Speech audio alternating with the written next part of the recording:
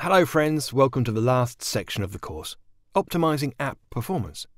In this section we'll be first optimizing the React Native application size, then we'll optimize the performance of native modules and UI components of both iOS and Android.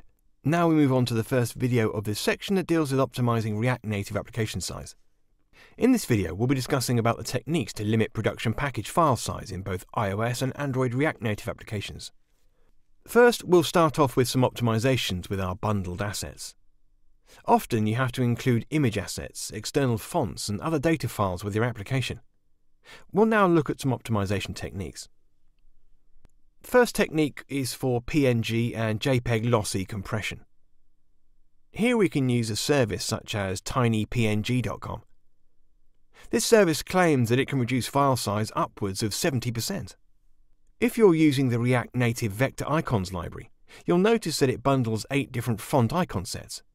Feel free to remove the icon font libraries that you're not using. Also, SVG files can be compressed and optimized. You can use the service compressor.io for this. Last technique is to compress the audio assets to AAC or MP3.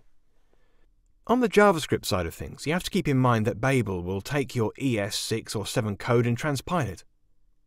The transpilation will cause polyfills to be generated and used for these features.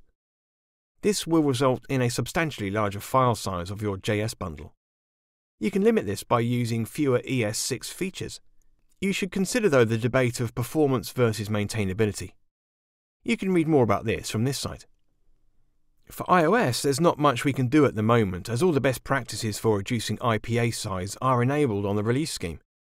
These practices include enabling bitcode for app thinning and setting the compiler optimization to fastest smallest. For Android, there is some room for reducing the file APK file size. In Android Studio, an open build.gradle file and change the lines with these values.